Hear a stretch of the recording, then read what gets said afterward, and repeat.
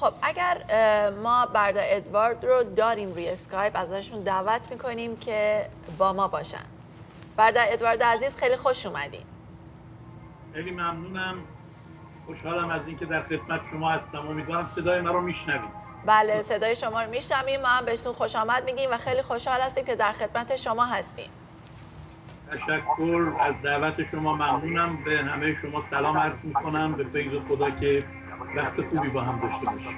مرسی. با سلامی گرم. از طرف من و ادوین هر دو نفر بار دیگه. خدمت شما و خانواده محترمتون مرسی برادر ادوار می‌دونم که خیلی گرفتار هستید و من که باهاتون تماس گرفتیم حدود یک ماه گذشته. می‌دونم که برنامه هاتون که داشتیم هم گفتید بسیار مشغول هستید. ممنونم به خاطر این فرصت خوبی که به ما دادید. می‌دونم وقت شما گرانبهاست ولی می‌دونم که صحبت های شما هم بسیار ارزشمنده و عزیزان می‌تونن ازش استفاده بکنن. ارزم به خدمتتون پس برادر ادوارد عزیز صحبت هایی که امروز ما می‌خوایم با همدیگه بکنیم همونطور که قبلا هم با همدیگه یک صحبت کوتاهی داشتیم. قبل از اینکه این صحبت ها رو ادامه بدیم شاید بهتر باشه یک بار دیگه به عیزان یادآور باشیم که هدف ما این نیست که در مورد یک کلیسایی به خصوصی صحبت بکنیم. هدف ما یک خادم مشخصی نیست چون به حال اینا اگر بیان نشه بعضی وقتا سوء تفاهم به وجود میاد. صحبت ما صحبت بسیار کلی در سطح ایمانداران مسیحی در ایران هستش. عیزانی که در این چند سال گذشته به مسیح خداوند ایمان آوردن و کلیسای خداوند رو تشکیل دادن. ما داریم در مورد چالش های این کلیسای جوان صحبت می‌کنیم و این چالش های کلیسای ایران فقط منحصر به فرد یا منحصر به کلیسای ایران نمیشه. شما هر کلیسایی رو در هر جای دنیا بر از اینکه توی یک کانتکست مذهب دیگه یا یک فرهنگ کاملا متفاوتی داشته باشید مشکلات خاص خودش رو داره. کلیسا ایران هم مشکلات خاص خودش رو داره که می‌خوایم امروز با هم دیگه در موردش صحبت بکنیم و اون رو بیشتر بشکافیم. یکی از ارزم به خدمتتون من هفته اون دفعه هم که در مورد اون مسئله صحبت کردیم گفتم اگر پولس رسول هم بنیانگذار کلیسای ایران بود خواسته و ناخواسته با این مشکلات و سختی ها روبرو می‌شد. چیزی نبود که بگیم که اون می‌تونست حل بکنه. خادمین ما نتونستن حل بکنن. خادمینی که توی ایران تا الان خدمت کردن با عشق با جان و دل با غیرت خدا رو خدمت کردن و کلیسا رو الان به اینجا رسوندن و عزیزان دیگه هم از خارج کشور دارن این رو حمایت و پیروی می‌کنن.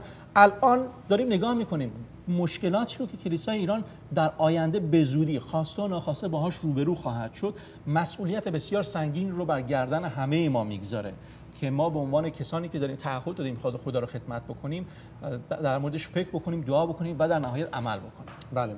برادر ادوارد عزیز آغاز می‌کنیم با مبحث تعلیم کاذب و از بینندگان عزیز درخواست می‌کنیم که اگر سوالی داشته باشن سوالاشون رو بر... می‌تونن تماسی بگیرن باشون سهیم باشیم. ولی می‌خواستیم که آغاز بکنیم که چرا در مورد تعالیم کاذب کتاب مقدس در صحبت کرده اهمیتش چی هستش که ما باید هوشیار باشیم نسبت به تعالیم کاذب در سطح کلیسا؟ در رابطه با تعالیم کاذب شما بله بله دقیقاً. که ما چیکار باید بکنیم که کلیسا ایران از تعلیم کاذب دور بمونه. سوالی هستش که قبل از اینکه به اون مرحله بریم اصلا چرا اهمیت داره که بخوایم در این مورد ما هوشیار باشیم در مورد تعلیم کاذب؟ ولی می‌خواستیم که آغاز بکنیم که چرا در مورد تعلیم کاذب که مقدس هم صحبت کرده اهمیتش چی هستش که ما باید هوشیار باشیم نسبت به تعلیم کاذب در وسط کلیسا؟ خب موضوع تعلیم یک موضوع بسیار بنیادی و سرنوشتاتیه و می‌دونید که وقتی که تعلیم درست باشه باز می‌خوام بعد ادوارد عزیز فکر می‌کنم که شما صدای ما رو دارین در ضمن از طریق کامپیوترتون میشنوید.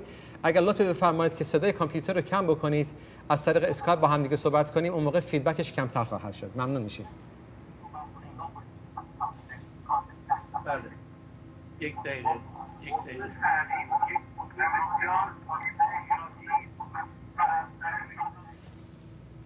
بله خیلی خوب شد. ممنون.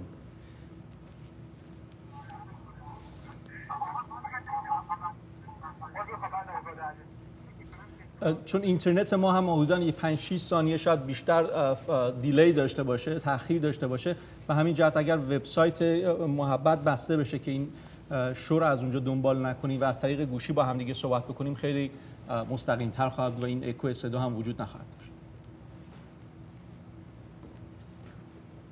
پس بحث اولی که سال اولی که ما داریم این هستش که چرا مبحث تعالیم کاذب اگر عزیزا فقط ما بگن اهمیته. که وقتی برادر ادوارد آماده هست ما دوباره بله. متصلش کنیم ممنون میشیم. بله بله. آه به به به. هستی برادر ادوارد. اینطوری بهتر شد. عالی شد عالی شد. خیلی صدا. که خیلی خوبه. بفرمایید. در خدمت شما هستیم. بفرمایید. بله.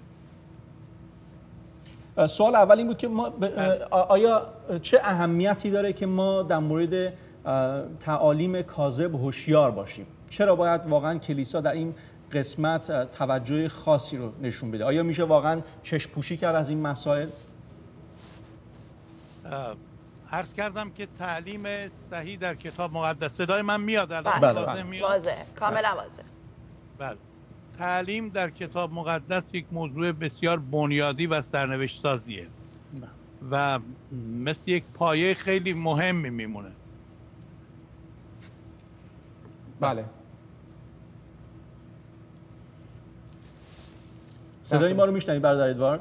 بله بله بله. میشنوم.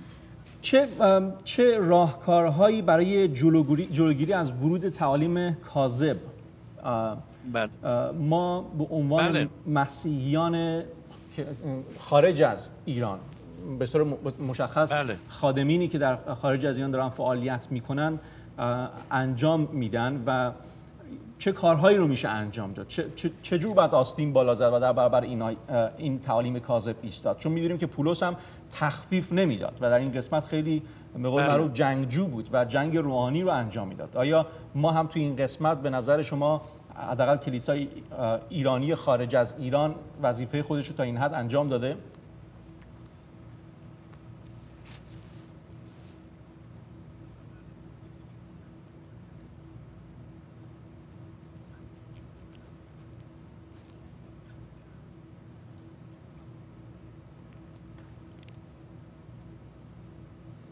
تأخیری هست در بله. شنیدن